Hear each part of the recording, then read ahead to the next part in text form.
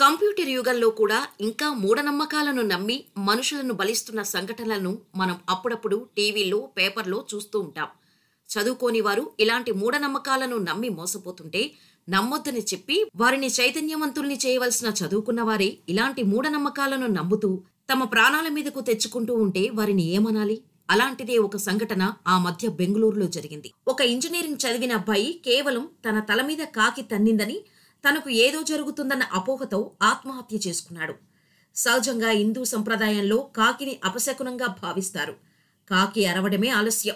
అరే మీ ఇంటికి ఎవరో చుట్టాలు వస్తారని బంధువులు అనడం మనం చూస్తూనే ఉంటాం.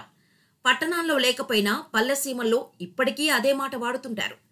కాకి ఇది వచ్చి వాలితే మంచి జరుగుతుందని కొందరు చెడు జరుగుతుందని ఇంకొందరు నమ్ముతారు. కాకి సందేశాల్ని మోసుకొస్తుందని అది అరిస్తే బంధువులు కానీ శుభవార్త కానీ వస్తుందని చాలామంది అంటారు. కొందరేమో కాకి నల్లగా ఉంటుంది కాబట్టి నలుపు పాపానికి విషాదానికి ప్రతీక కాబట్టి చెడు జరుగుతుందని అంటారు. కొన్నిసార్లు కాకి అరుస్తున్నట్లు ఆ అరుపేంట్రా అని తిట్టుకోవడం సాధారణ విషయమే. కానీ కాకి కాళ్ళు తలకు తగిలితే ఖచ్చితంగా తలస్నానం చేయమంటారు పెద్దలు. అది తెలిసి చెబుతారో తెలియక చెబుతారో కానీ ఇందులో శాస్త్రీయ కోణం దాగి ఉంది. అదేంటంటే ఒకసారి తెలుసుకునే ప్రయత్నం చేద్దాం. కాకి తల మీద వాలడం గురించి కొన్ని శాస్త్రీయ కారణాలు కాకి తినే ఆహారం మనకు ముక్కుపూటలో అదిరిపోయేలా ఉంటుంది.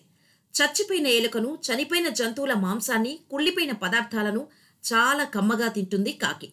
కాకి తాగితే తలస్నానం ఎందుకు చేయాలి? జంతువుల కలేబరాలపై వాలిన కాకులు వాటి మాంసాన్ని జుర్రుకుంటాయి.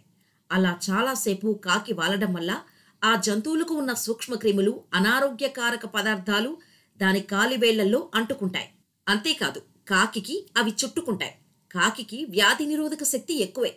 కుళ్ళినవి తిన్నా దానికి ఏం కాదు. కానీ ఆ కాకి ఎగురొచ్చి మనుషుల తలల మీద వాలినప్పుడు ఆ సూక్ష్మ క్రిములు అనారోగ్యకారక పదార్థాలు మన తల మీద పడతాయి. ఫలితంగా ఆ క్రిములు తల నుంచి చెవుల్లోకి చేతుల్లోకి చివరకు శరీరంలోకి కూడా ప్రవేశించి రోగాలు వస్తాయి. కొన్నిసార్లు కాళ్ళతో తల మీద రక్కటంతో రక్తస్రావం అవుతుంది. వేగంగా ఎగిరే కాకి అంతే వేగంతో కాలిగోటితో తన్నుతాయి. ఫలితంగా ఘాట్లు పడతాయి. ఆ ఘాట్ల ద్వారా శరీరంలోకి ప్రమాదకర సూక్ష్మక్రిములు చేరి రోగాల బారిన పడే వీలుంది. అందుకే వెనకటి కాలం పెద్దలు కాకి వాలితే వెంటనే తలస్నానం చేయాలని చెప్పేది. తలస్నానం చేయడం వల్ల మురికి అనారోగ్యకారక పదార్థాలు తొలికిపోతాయి రోగాలు రాకుండా ముందు జాగ్రత్త చర్యే ఇది. ఇది మూఢనమ్మకం అనే ప్రచారం ఉంది. మూఢనమ్మకంలోనే సైన్స్ దాగుందన్నది నిజం.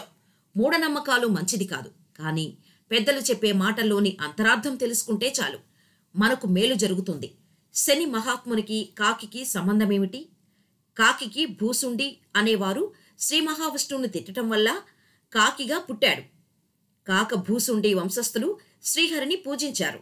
అప్పుడు శ్రీహరి వారికి వరమిచ్చాడు. కాకి శనికి వాహనముగా ప్రకటించి పితృదేవతలకు సమర్పించే ఆహారం కాకుల ద్వారా అందాలని వరమిచ్చాడు. అలా కాకికి శని భగవానునికి సంబంధం ఏర్పడింది. కాకి శనివాహనం కాబట్టి కాకి తగిలితే శనిదోషం జరుగుతుందని యముడు రాకకు సంకేతమని భయపడతారు.